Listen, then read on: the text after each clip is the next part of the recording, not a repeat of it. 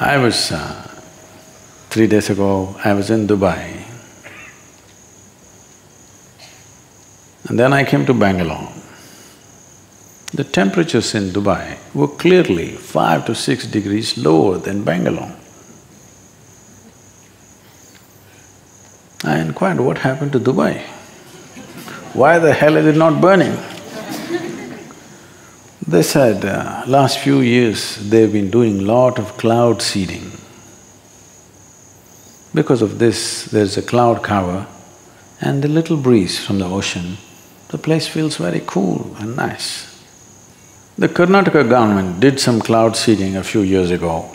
I don't remember exactly which year, but they did. Then they gave up because it rained in Andhra Pradesh.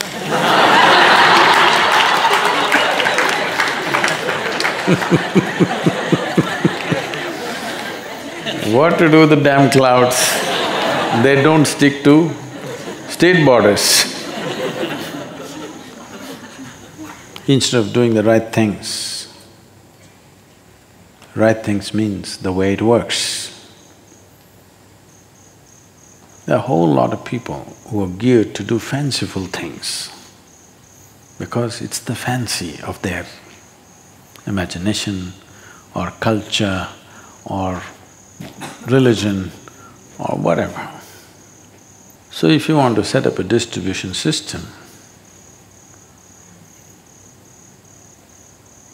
of course, the transportation is best that it goes in a straight line, unless there is Himalayas in the way.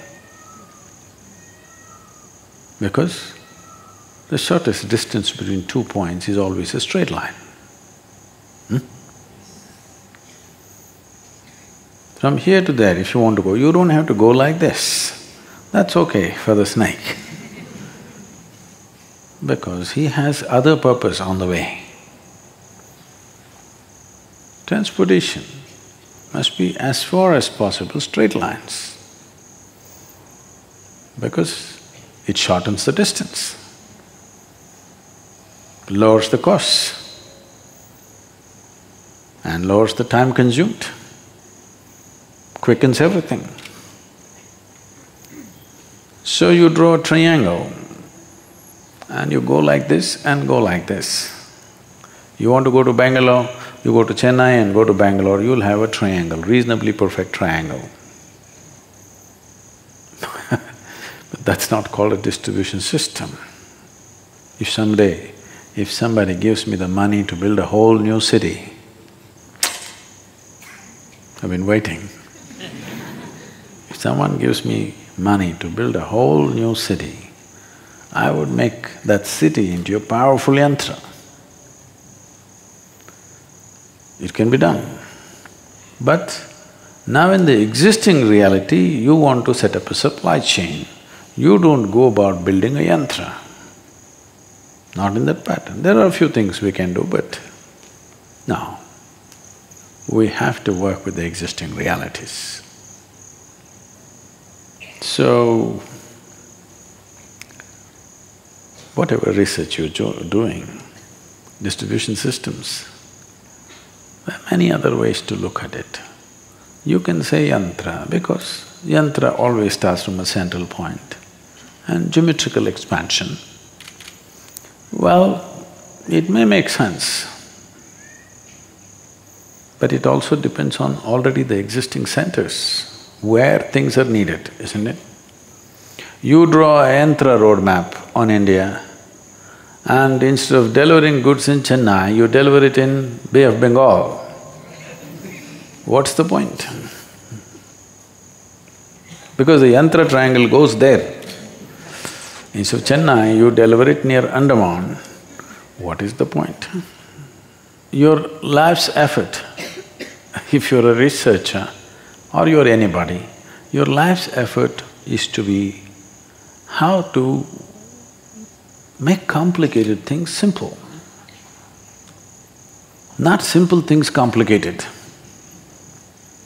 A lot of spiritual teaching has become like this. Simplest things they complicate and it becomes spiritual. If you are, you know, if you flew kites, did you? No. You were researching. what is this? you didn't fly a kite. You don't know what you missed. Go and fly in this. June, July, instead of doing some research, take a break and fly a kite. Chinese manja is available now in the market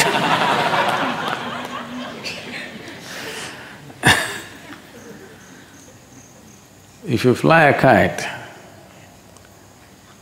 you know, these days they got all rollers and those roller people will never fly a kite well. Uh, we all have it around the bamboo. It's a certain thing to keep the thread like that. Otherwise, little mess you do, it'll get all knotted up. It's just a single string, but it gets all knotted up. And the more you rush around, you can never untangle it, it'll become a big mess. Simple straight thread, it becomes such a complex net. As it is with life, simple straight line, line, from womb to tomb, straight line. Is there any complication in this?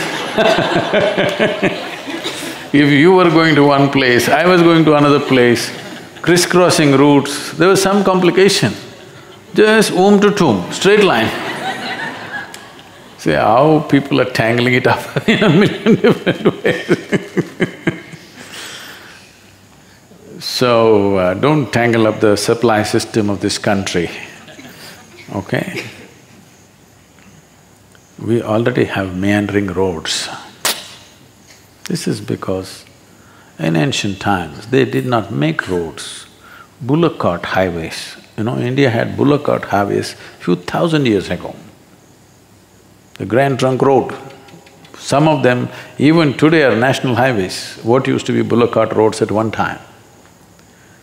The Northern Trunk Road, which goes somewhere from Delhi up to Calcutta, even today is highway number one.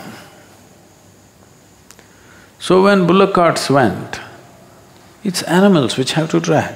Even a small mound, they went this way because it was easier for the animal. There was no 600 bhp engine, there were just two oxen. So even a little hill, they went this way, a little mound, they went that way. They didn't want to go down slope because it's hard on the animal, no brakes, you know. Animal is the brake. So they went that way, that way, that way. And towns got built up along this road. So when we made new roads, we didn't have the heart to leave out the towns and make a new road. So we went along with that. And all our roads became like this, like that, like that, like that. Because everywhere there are towns and towns, supply chain, you know. Cart with a supply chain. So now when we made our national highways, we tried to make it little straighter. But still one town here, one town there, one town, so we made like this, like this, like this, like this. We could make from Delhi to Kanyakumari, one arrow. Only thing is, only those who are going to Kanyakumari can go. On the way, nobody else can use the road because it is not touching any of the major cities.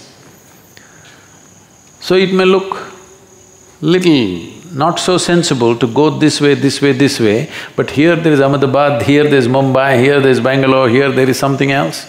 You got to touch all of them, otherwise there is no supply chain. So, supply chain is just an arrangement to see how efficiently things get to people. You don't have to think up anything. If you observe your body, look at the supply chain, to every… even your fingernails are still growing or I know you lost your hair but your finger it's a clear sign, blood is not reaching